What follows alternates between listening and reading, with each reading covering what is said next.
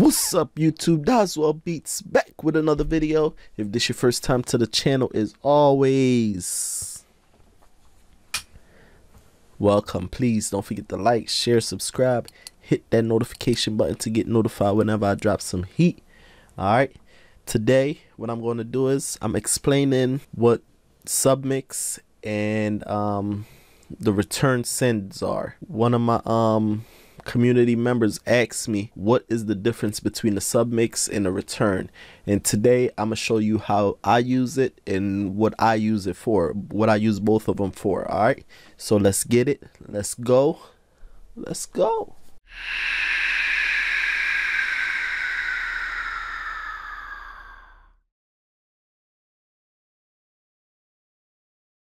All right so we in the MPC right now right? So right now let's put them up. You have your submix and you have your return and you have your programs. So right now I don't have any programs up but when I add a program it will pop up right here on the side. This is the submix. This is the return. In a nutshell the submix right? If you build in a melody say you build in a melody and you have four instruments if you send all four instruments to a submix, submix one, it will come inside this submix one right here, right? And whatever VST you have on here, it will affect that plugin. And it will be whatever the wetness of the plugin is, it will be that. That's in a nutshell for the submix. A nutshell for the return is whatever effect you have on the return and you put the the one of say you send one of your um, instruments to the return you have a choice. If if the if the if the effect that's on the return is all the way wet and you send a track to it it don't have to be all the way wet. You can use these buttons right here to put as much wetness you want on it right? So I'm gonna run through the video and show you. I'm gonna just make me a make make a quick instance of three sounds, all right? And then we can go ahead and see how to do it. Let's go ahead.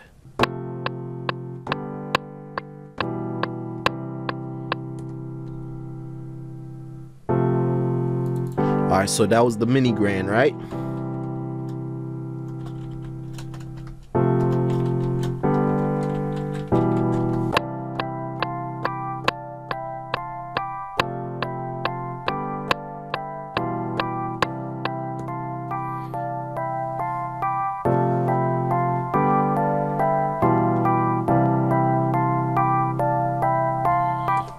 All right and let's add another one let's add another inst another uh VST um let's add like a lead or something like that. It's not about the sounds it's just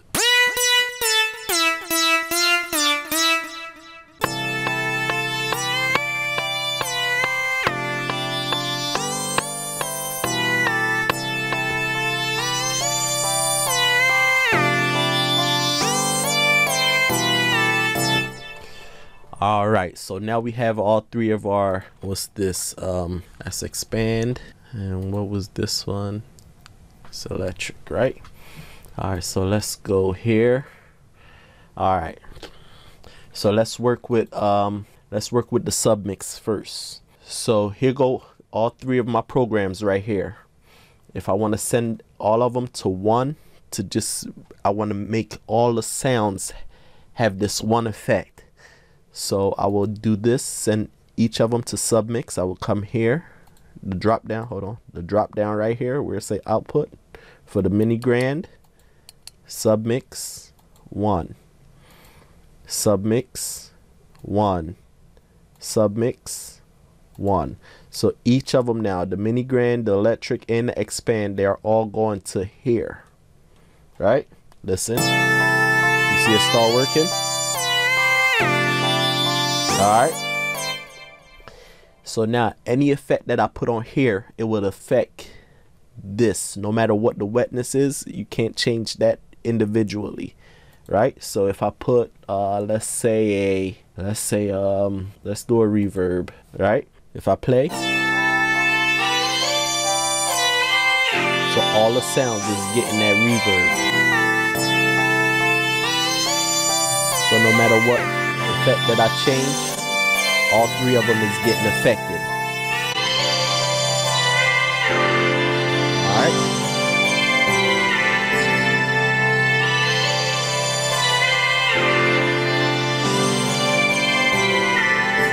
Alright, So that's that, right? Let's mute that. If we mute it, you won't hear nothing from none of them because everything is going here.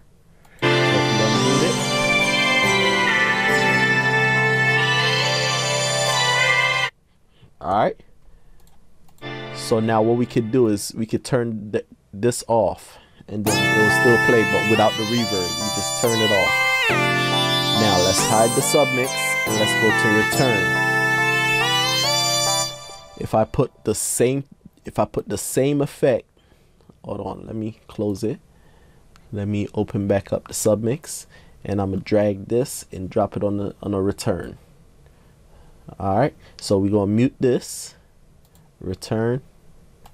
Mute the submix. Here go to return now. The same same VST with the same settings right? If we turn it on is on now on the return. We're doing the return now. Is on. If we put play, you don't hear nothing. Right? So remember, now to get the effect to affect any each individual one, we are on return one. You have return one. If it was on return return two, this is for return two. If you have return three, this is return three. If you have return four, this is for return four. So for the mini grand, let's turn it up. So now only only the mini grand is getting that that reverb. And the thing that I like about the return, I can turn down if I don't want it all the way full to 100, I can always put it at half or you know I mean turn it to 25% or whatever, right? So only the mini grand is getting affected now. If I want the electric to get affected, I'll come here to the electric and turn it up. So now both of them is getting affected and not this and not the expand.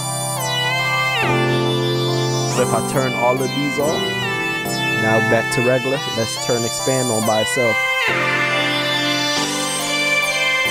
So, so now just that is playing, right? And you could take out, if you don't want a lot of it in there, you don't want it to be too reverby, you take it out. So you hear it only a little bit. Now for the electric, we'll turn it all the way up.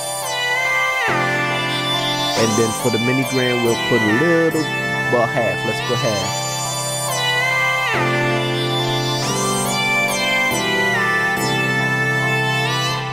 All right. So that's just that's how I use it in my submix, and you can use it. For, you can use the submix for vocals. You put all vocals on the submix so you can put that auto tune or whatever on there and then if you want like reverb and everything you send it to um, a return channel. All right so that's the end of the video man. Thanks for watching. See you in the next one all right? Let's go. Let's get it